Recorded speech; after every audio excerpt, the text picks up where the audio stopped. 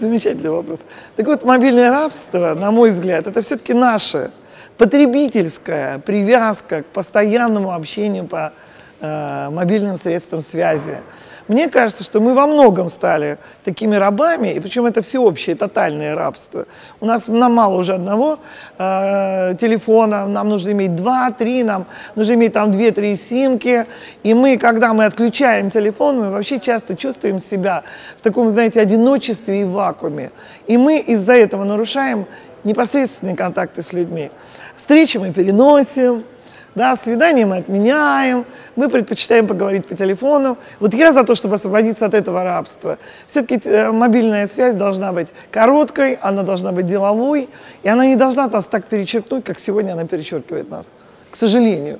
Я даже на даче ловлю себя э, на том, что я хожу с этим э, телефоном, да, вот даже занимаюсь вообще совершенно какими-то делами. Я иду на рыбную ловлю, я рыбу люблю ловить.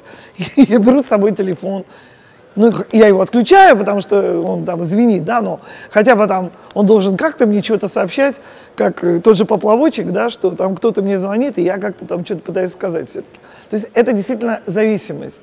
И вот от этой зависимости, которая, по сути, есть самое страшное рабство, мы должны освобождаться.